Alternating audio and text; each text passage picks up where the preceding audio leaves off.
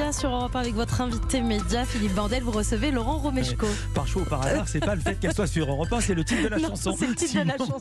Bonjour Laurent Romeshko. Bonjour Philippe. C'est pas un hasard, c'était un choix. On voulait vous recevoir votre actu, vous présenter météo à la carte avec Marine Vigne notamment. C'est du lundi au vendredi sur France 3 à 12h55. Pour qui n'a jamais vu, c'est plus qu'un bulletin météo. C'est une vraie émission de près de 45-55 minutes. Ouais. Euh, là en ce moment, on va dire pourquoi. Comment vous définiriez l'émission? C'est une émission de, de proximité au plus près des régions avec euh, de vrais personnages qui, euh, bah, qui, font, le, qui font le terroir avec un, avec un grand respect pour l'environnement. C'est c'est vraiment notre fil conducteur qui est ce, ce respect de, de, de l'environnement. Alors, météo à la carte, il y a un double sens sur le Mm. terme à la carte. Vous vous intéressez aux régions, donc on va à la carte. Et puis la carte de restaurant, il est aussi beaucoup question d'alimentation, de gastronomie. Mm. Ça ne pouvait pas mieux tomber. Toute la semaine jusqu'à vendredi, on sera le 3 mars. Vous allez être en direct au Salon de l'Agriculture pour 55 minutes quotidiennes. Euh, France Télévisions a fait une bande-annonce. C'est même une bande-annonce globale parce que vous n'êtes pas la seule émission à être sur place. On écoute et on en parle. Du 25 février au 5 mars, nos régions sont à l'honneur avec le Salon de l'agriculture sur France 3. Communes avec France Bleu et tout au long de la journée, retrouvez tous nos directs dans nos éditions d'information, dans l'émission Ici au Salon de l'agriculture, ainsi que dans nos magazines de proximité, Dimanche en politique, Outre-mer l'info et Météo à la carte. Duplex, reportage, documentaire, profitez d'une offre exceptionnelle pour mieux comprendre notre monde paysan. Avec le Salon de l'Agriculture, écoutons battre le cœur vivant de nos régions sur France 3. C'est donc une opération transversale de France Télévisions et spécifiquement de France 3, mais vous-même, encore plus spécifiquement, météo à la carte, vous allez faire quoi? Quel programme? Qui allez-vous recevoir? Alors, on va pas être, je vais être avec Marine, bien Mhm. entendu. Marine Vigne. Et- Oui, Marine Vigne. Et je, je ne serai pas seul, puisqu'il y a les animateurs de, de France 3, de région, qui seront euh, associés à nous. Alors, très souvent spécialisés dans la dans l'alimentation et dans les, dans les bonnes recettes. On reste Ouais. sur l'idée de, de la carte. Comme Caroline Tessandier qu'on avait reçue ici. Comme Karine Tessandier. Karine, pardon. Caroline, Karine. Car- Oui, Karine.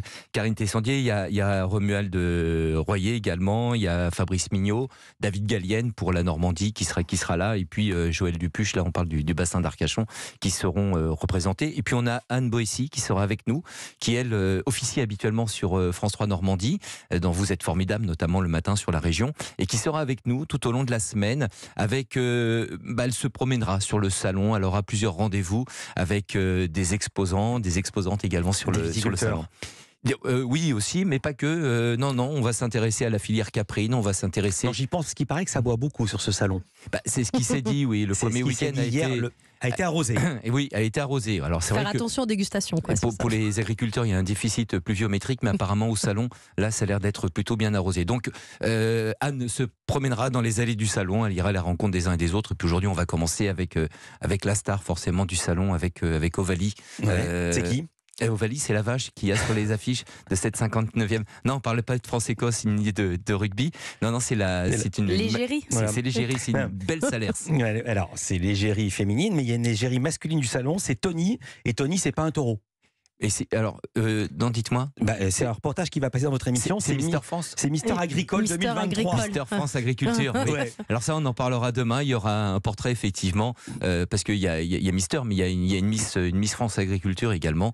Et donc euh, voilà, ça fera partie des, des, des objectifs d'Anne Boissy euh, d'aller à leur rencontre. Et vous-même, est-ce que vous allez recevoir euh, des invités ou pas du tout? Ou vous serez dans la même configuration avec Marine Vigne? Non, alors nos, nos invités, ça va être effectivement la déclinaison des régions avec les représentants de, de France 3 un peu partout en région.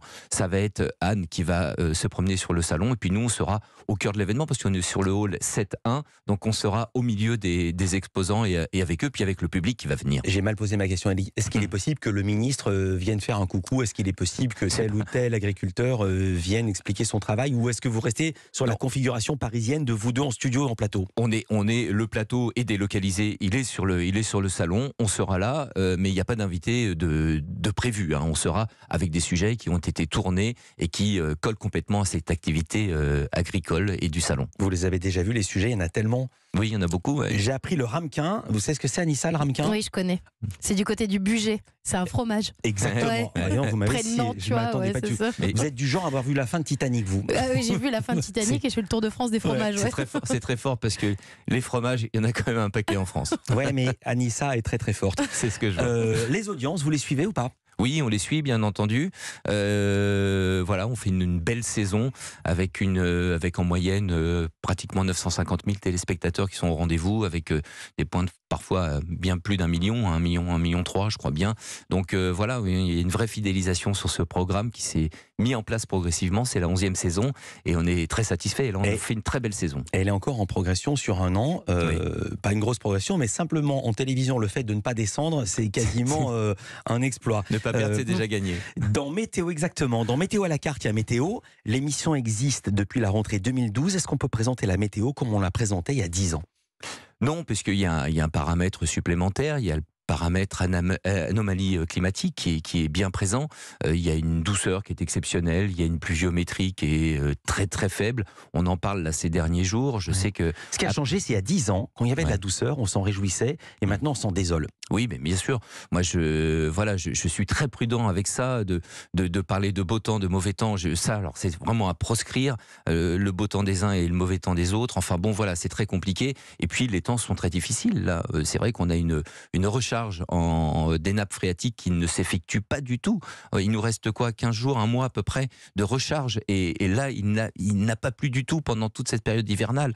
On s'oriente vers un printemps et un été où là, ça va être très très compliqué. On a connu la sécheresse l'an passé. Je pense qu'elle sera beaucoup plus importante pour euh, l'été 2023. Donc c'est très compliqué. Donc là, forcément, la notion de beau temps, on n'en on n'en parle pas. On va tous, euh, tous en souffrir. Et pas que le monde agricole. Bien entendu, il est en première ligne de ce manque de, de pluie, ce manque d'eau.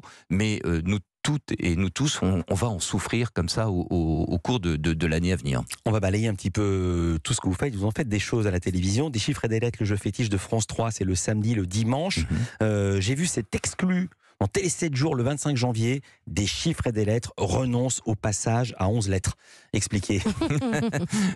Oui, alors bon, on, on y a, on y a renoncé. C'est vrai que ça a, été, ça a été une piste de réflexion dans un premier temps avec euh, Patrice Ouais. Lafont. En fait, tous les deux ou trois ans, on rajoute une lettre. Non, un peu plus que ça, parce que ça fait euh, déjà Quand j'étais bonne... petit, c'était 8. Puis après, ce fut 9. Ah Maintenant, oui. c'est 10. Ah oui, vous êtes jeune, parce que ça a commencé Merci. à moins que ça. Et, et- et, euh, moi, j'ai connu, je crois, à 7, 7 8. Oui. ouais. Donc, euh, c'est... Oui, on, a, on avait envisagé 11, mais c'était... On a sondé les, les candidats. Les, les champions aussi, et, euh, et c'était un petit peu compliqué. Et puis la famille d'Armand Jameau, les ayants droit aussi. Ouais. Voilà, et c'était, euh, ça bousculait vér- véritablement trop le jeu, et ça, aurait- ça serait devenu peut-être trop compliqué aussi pour le téléspectateur. Donc on reste à 10. En revanche, vous avez annoncé une nouveauté. C'est laquelle?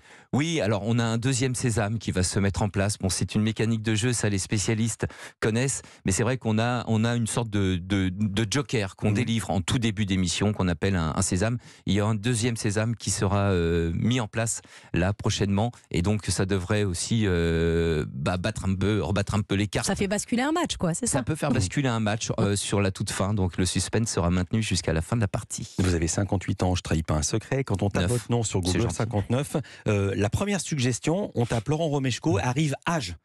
Euh, il y a 5 ans, c'est en décembre 2017, vous étiez venu nous en parler, vous avez décidé de relever un défi, le mois sans tabac coaché par Michel Simès. Ma question est simple, est-ce que vous y êtes parvenu? Oui, alors j'y suis. Alors c'est super compliqué. C'est très très Il dit oui en faisant non de la tête. Non, Vous non, avez réussi, vous n'avez pas réussi Si, si, si, j'ai réussi. J'ai réussi, mais c'est très difficile. C'est une tentation permanente, alors qui s'estompe avec le, avec le temps.